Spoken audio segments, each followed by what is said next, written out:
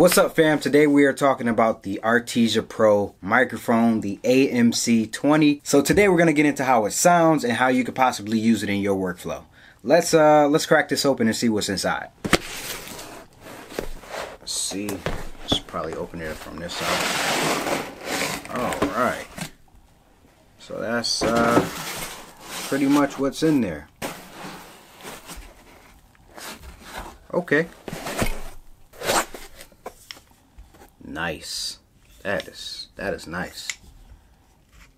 That is really nice. Got some weight to it. And some uh smells new. Came with a nice cable.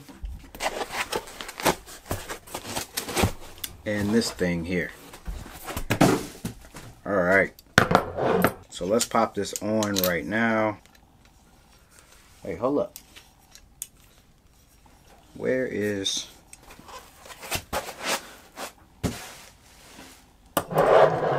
Oh yeah, that's legit. That is legit. That is it right there. Dope. Dope stuff. Alright, so this is the professional Artesia AMC 20 cardioid condenser microphone, and it's a studio mic. So producers, singers, streamers, gamers, podcasters, this might be your best bang for the buck cardioid condenser microphone studio solution for your content and for your microphone. So let's check out how it sounds and what it can do. You might want to throw your headphones on so you can get a better uh, listening experience for what this microphone actually sounds like. All right, so we have monitoring on on the microphone and I now have the microphone about, let's say about a foot away from my away from my face. So right now what you're hearing is the audio from my microphone into the Shure MV-I interface into the iPad. So like I said, this is a professional studio microphone, cardioid condensing microphone, made for podcasters, made for streamers, gamers, uh, singers and songwriters. I'm pretty much I'm I'm pretty much in a quiet room right now, so uh, I don't know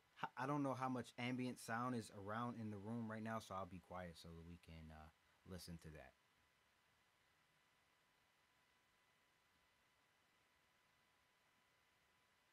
Doesn't sound like too much of anything is going on in the background, so I'm pretty happy with that. Right now, I have the uh, microphone set to about halfway, and I'll show the levels on my interface as well as have the screen recording of the microphone on the iPad. So right now we're in uh, audio share, and I can uh, actually choose to throw some effects on this with my iPad.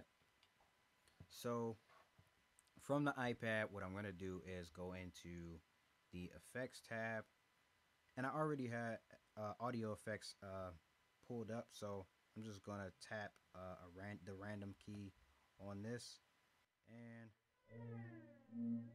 wow. That's pretty cool. So this is what it sounds like with some crazy effects on it.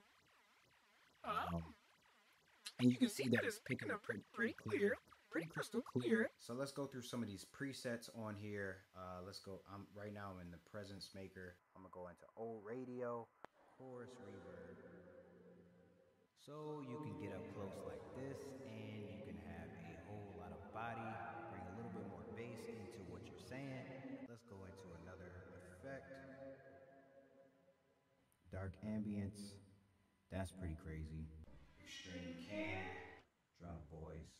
All right. So, over delay. Wow. That's crazy. Yeah, that's crazy.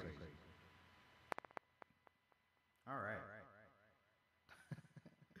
so I'm going to turn a lot of these effects off. Uh, and yeah, this is how it sounds uh, regularly. So, like I said, you can get up close and you can have your podcast microphone just like this. And so right now what I'm hearing on the monitoring from the iPad, I'm hearing very, very crisp highs, uh, some very detailed mids, and some very pronounced lows. I'm actually really surprised of the audio quality uh, given the price of this, um, just under $120.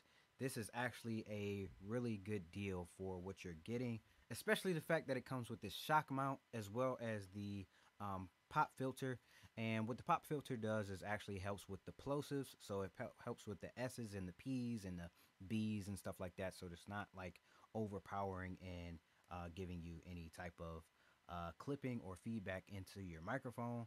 Once again, I have the microphone set to about halfway on the interface and uh, levels are looking pretty pretty normal. One of the first things that I did notice is that it did have some weight to it and that really shocked me. I actually expected it to be a lot smaller. Um, seeing the pictures online, I expected this to be a whole lot smaller and a whole lot uh, less weight. Um, I've seen some other uh, microphones online and I've actually used some and they actually felt like toy microphones.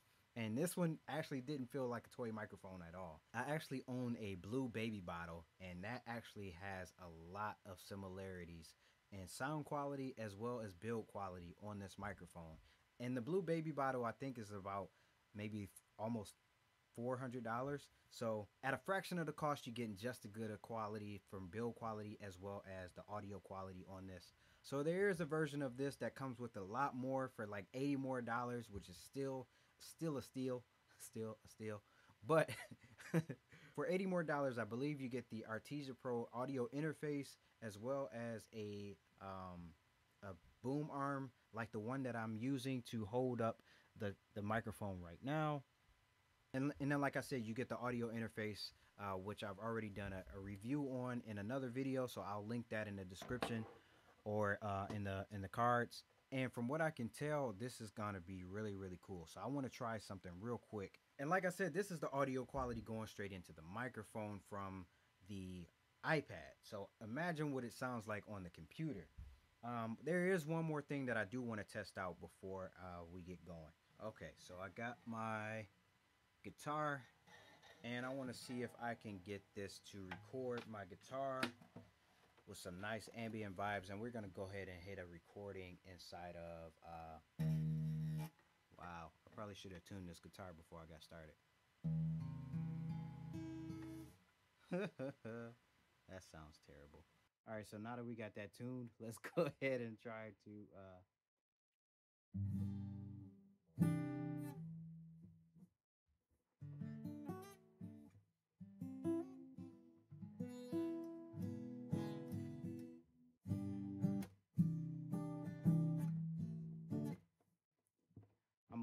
rusty on my guitar skills too, so.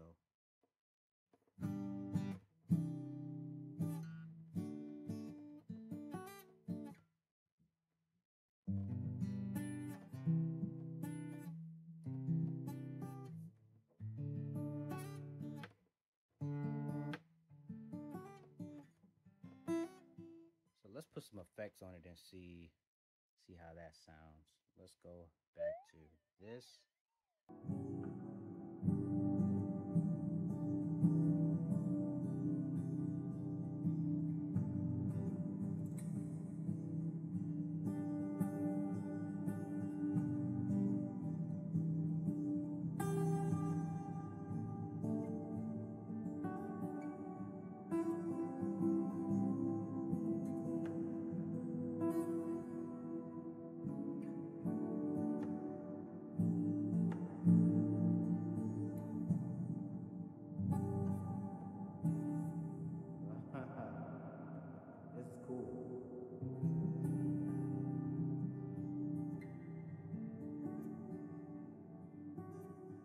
Is actually pretty dope. If I wanted to rec record any of this stuff, I would have just hit record inside of the um, inside of the audio audio share app. And you can see that it's now recording.